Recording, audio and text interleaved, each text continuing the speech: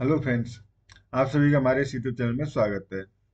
Friends इससे previous video में हमने पढ़ा था कि कोई भी इंटीग्रल इक्वेशन है with boundary conditions initial boundary conditions उसको फर्दोलम इंटीग्रल इक्वेशन में किस तरह से चेंज करते हैं।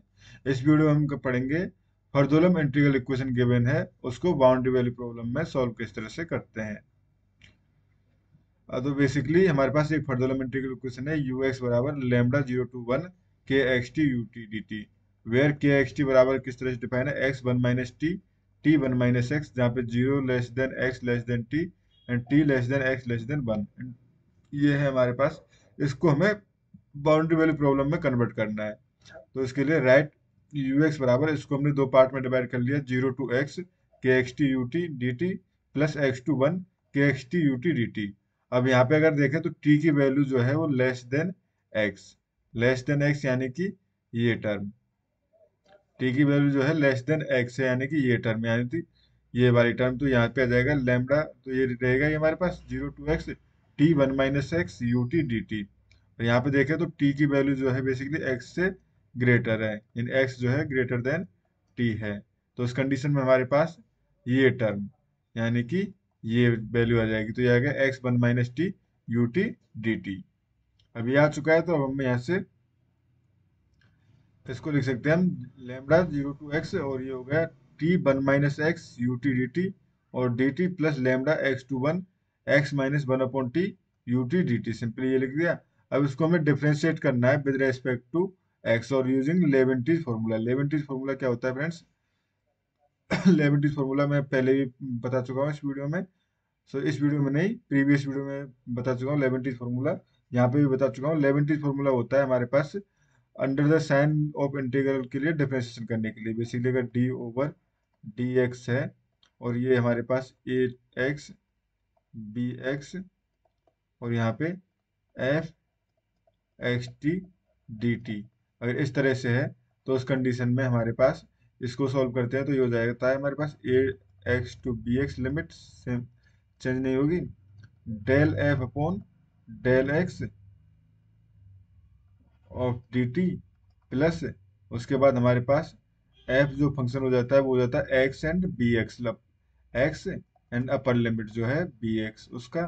और ये हो जाएगा हमारे पास D B X upon D T plus sorry यहाँ पे माइनस क्योंकि लोअर लिमिट अप्लाई करें तो माइनस और एफ़ ये हो जाएगा एक्स एंड ए एक्स का फ़ंक्शन और D A X upon D T sorry D X with respect to X derivative कर रहे हैं तो एक्स आएगा। ये आ गया हमारे पास। अब यहाँ पे अगर हम देखें, यहाँ पे अगर देखें तो इस इक्वेशन फर्दुलमेंट्रिकल क्वेश्चन में बेसिकली यहाँ पे जब अप्लाई करेंगे हम यहाँ पे अप्लाई करने पे ये वाली टर्म ज़ीरो हो जाएगी क्योंकि नीचे कांस्टेंट है।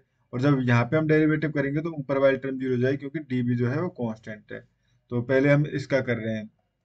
तो इसका कर रहे हैं तो हमारे पास टी वन माइनस एक्स इसका विद रेस्पेक्ट टू हमें करना है तो डेल अपॉन डेल एक्स ये हो जाएगा तो ये हो जाएगा हमारे पास T minus X T del upon del X तो ये क्या ये हो गया हमारे पास ओनली माइनस टी तो ये हो गया minus T U T of D T अब अब चूँकि ये हमारे पास इलेवन टी फॉर्मूला से ये वाली टर्म क्या करना है तो एफ़ ये हो जाएगा यहाँ पे अप्लाई करना है तो ये हो जाएगा एक्स क्योंकि टी की जगह एक्स पुट देना वन माइनस एक्स तो ये हो गया X one minus X lambda है ही, और इसका डेरिवेटिव और साथ में यू एक्स और derivative of X with respect to X जो कि वन हो जाएगा तो ये हो गया lambda X U X one minus X U X अब लोअर लिमिट को अप्लाई करने की ज़रूरत नहीं है, क्योंकि वो ज़ीरो हो जाएगा.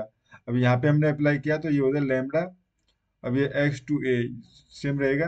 और सिंपली इस टर्म का अंदर डेरिवेटिव होगा विद रिस्पेक्ट टू एक्स तो पार्शियल डेरिवेटिव होगा तो वन माइनस टी क्योंकि और तो कॉन्स्टेंट रहेगा, ये वन हो जाएगा। U T D T minus अब क्योंकि ये ये टर्म तो ज़ीरो हो जाएगी, क्योंकि यहाँ पे अपर लिमिट जो है वो वन है कॉन्स्टेंट है। लोअर लिमिट के लिए अप्लाई करेंगे तो लोअर लिमिट जो हो जाएगी माइनस लेमडा और जहाँ पे भी टी है, वहाँ पे एक्स तो ये lambda X one minus X और ये यू एक्स ये आ गया, और D A upon D X जो है, वो ज़ीरो हो जाएगा। तो यहाँ से सॉल्व करने पे आ गया D U upon D X equal to lambda zero to X minus T U T D T plus lambda X to one one minus T U T D T तो इसको फिर से हमें डिफ्रेंशिएट करना है विद रेस्पेक्ट टू एक्स और लेवेंटीज formula जो कि अभी यूज़ किया था इसी तरह से। तो D square U upon D X square और ये हो जाएगा लेमडा ज़ीरो टू एक्स अब यहाँ पे अगर देखें तो del X upon del T होगा। तो यानी कि sorry del T upon del X ऊपर फ़ंक्शन जो है टी का फ़ंक्शन है तो ये डेरिवेटिव हो जाएगा ज़ीरो हो जाएगा और अपर लिमिट्स वाला ये वाला पार्ट जो है, ये आ जाएगा।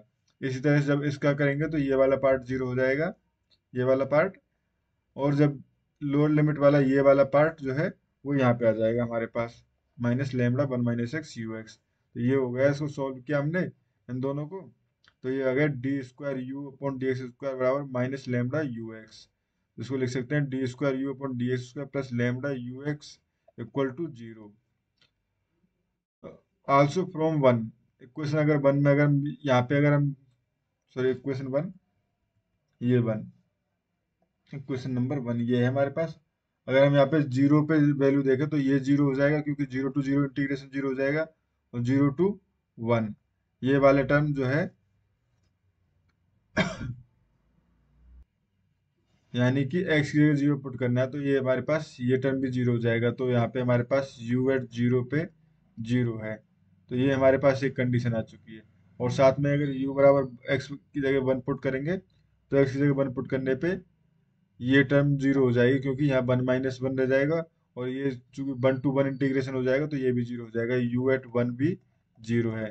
तो यहाँ पे ये दो इनिशियल कंडीशन भी आ चुकी है। तो इस तरह से कोई भी डिफरेंशियल इक्वेशन है कोई भी इक्वेशन है, उसको हम कोई भी फर्दुलमेंटिकल इक्वेशन है, उसको हम इस तरह से कन्वर्ट कर सकते हैं। डिफरेंशियल इक्वेशन में कन्वर्ट कर सकते हैं with initial and boundary conditions और कुछ आप यहाँ पे एक्सरसाइज है जो आप सॉल्व कर सकते हो।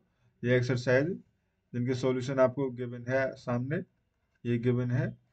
इसी तरह से इसको सॉल्व कर सकते हैं। ये कुछ क्वेश्चंस हैं जिनको आप इजीली सॉल्व कर सकते हो। नेक्स्ट वीडियो में जो पढ़ेंगे, वो पढ़ेंगे friends solution of Fredholm integral equation Fredholm integral equation का सॉल्यूशन हम किस तरह से निकालते हैं, ये हम नेक्स्ट वीडियो में देखेंगे. Thank you friends